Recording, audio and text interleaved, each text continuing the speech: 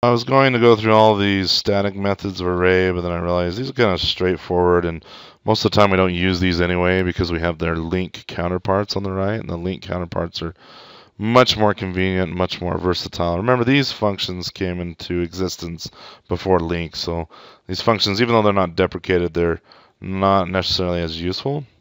So there's the sort function, which will sort all the elements in place in the array. So your actual array, all the items inside the array will be sorted.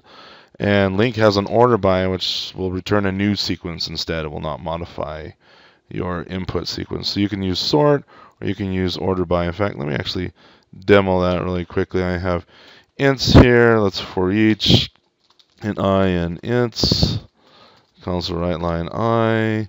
You see our ints here printed in the exact same order we have them in RAM.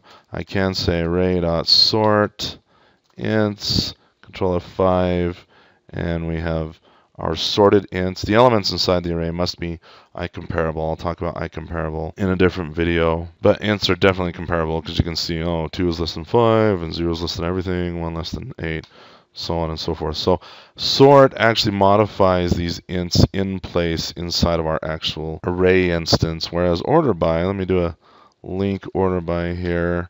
I'll say var sorted gets ints dot order by. Order by requires uh, key to order by, and so I'll say, hey, order the ints by their actual selves. That may look a little interesting to you, but if you watch my LINQ video, I can't remember what I stored in there, but I could say person dot first name like so. So that's why order by takes a, a, an argument, a lambda expression. Anyway, I don't want to belabor the point here. Let's just order the ints as they are, and that'll be sorted. So when I write line and for each on my ints, you can see the ints maintain their original order. But if I put sorted in here, sorted is a new sequence, which is definitely sorted. So that's sort versus order by. Order by is a LINQ function, whereas sort is a static function on array.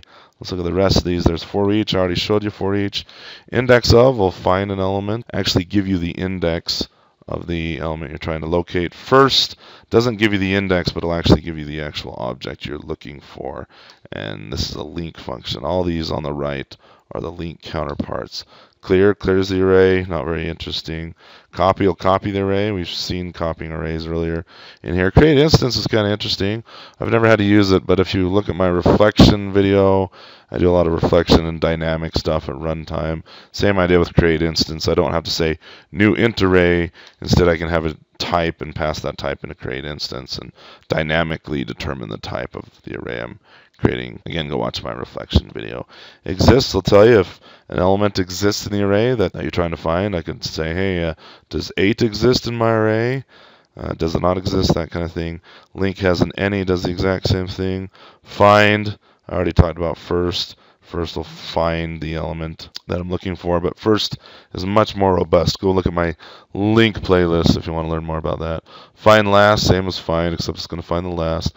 Find all, uh, we have a where clause. One of the first things we use in LINQ is where.